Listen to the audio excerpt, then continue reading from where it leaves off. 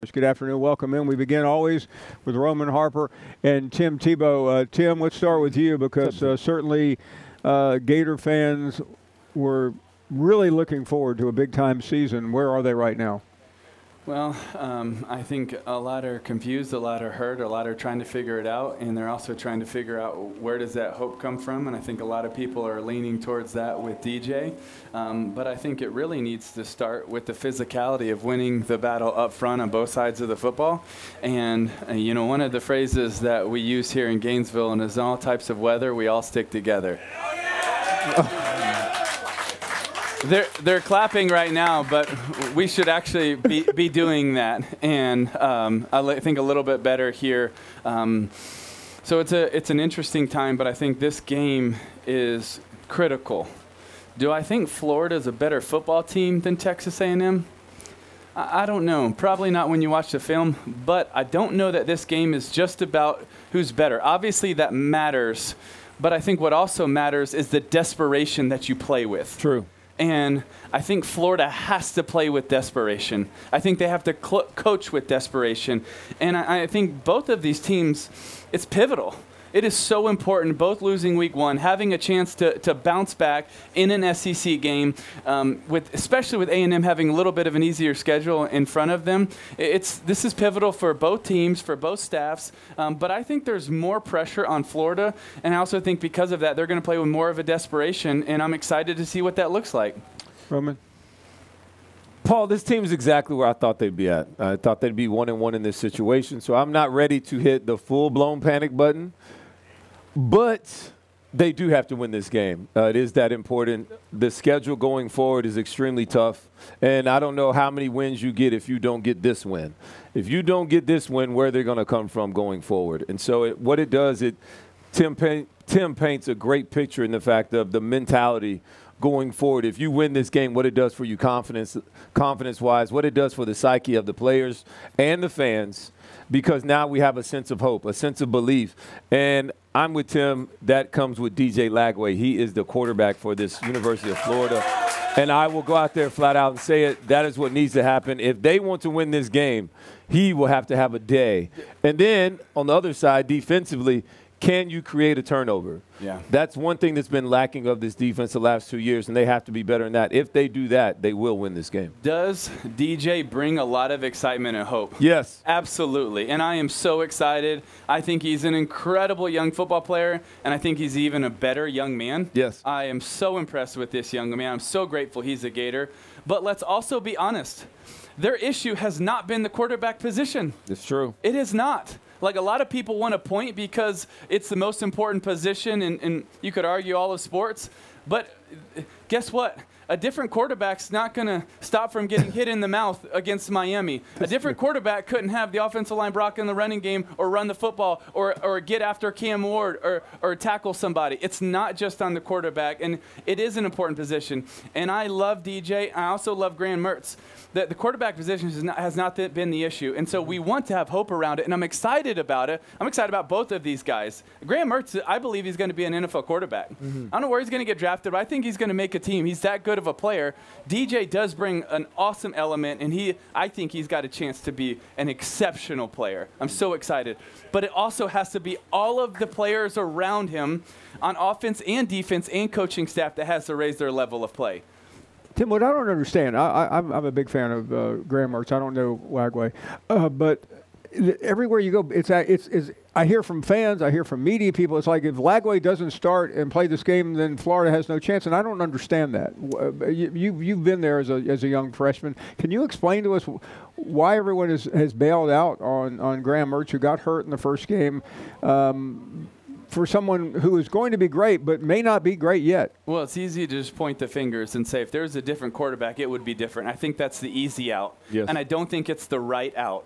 Now, does I want to be honest, does DJ give a lot of hope? Should he play? Beyond a shadow of a doubt, he should be part of the part of this offense. He should be part of the team. He brings so such an added um, dimension, and he brings hope. So critical, so important. But listen, either one of these guys, if they can't run the ball, if they can't separate at receiver, if they can't get pressure on the quarterback, like, listen, when you look at the film from the Miami game, Graham's getting hit in his face. Mm-hmm. They're not running the football. They didn't get after um, Cam Ward. They didn't make a lot of tackles. There are silly penalties on late uh, on roughing the passer. There's so many other areas, and it's easy for us to just say it's the quarterback. But that doesn't mean it's always true. There's a difference between perception and reality, and I think a lot of people just want to say that. But listen, that was not just on Graham Mertz on week one. It was on a lot of different people, and I think we need to paint an honest picture. And, and since I sat next to you on the plane coming down, you're you're one of the people who was who was saying that Lagway has to start and play, and, and I'm really curious why. Well, uh, I would answer that that your question with more questions. Who has the better arm? Lagway. Who's bigger? Lagway. Who has the ability to be athletic and then when things break down can actually create and kind of nullify some of your weaknesses is DJ Lagway. So the only real thing that's going towards Graham Mertz is the experience factor Sure. and the leadership A lot of experience. Right. And so I understand all that, but the only way to get experience is to play. And the thing that Lagway Well, brings he- to I this mean, team is that he has the ability to elevate everybody else around him. He has the ability to make everybody else around him better. He has the ability to maybe when you have a missed block that he can step up and still get it on out there pretty good. So I think this team because it has to play so desperate. Sometimes when you have to do something you've never done before, you got to do something you've never done before. And that is going with the young guy, the young freshman and trying to give this team a little shot or an injection in the arm to give them something to get them going because right now if we continue just to go down the same path, we're going to end up with a lot of the same results. And it's not a knock on Graham Mertz as much as it's just like But but Tim, this I want you to explain though. You you have you. I don't I don't want to use the cliche with the coaches know best because frankly I've seen times when they really don't. But in this case, it seems like the experience does matter in a big game like this. Yeah. It, at times, it really matters. Um, I, I think DJ's someone that can really handle the pressure. He's an incredibly poised, mature young man. But also, we have to understand if it gets to a, a, in a game where it's in second and third and long and Florida can't run the ball, then Mike Elko is going to be dialing up so many different pressures that DJ has never seen before. It's not his fault. He is the future of Florida, and the future looks bright with him. But also, can you, how can you handle and encourage and prepare for the future and prepare this young man to handle that Yep. without giving him all of the pressure Right. all at once?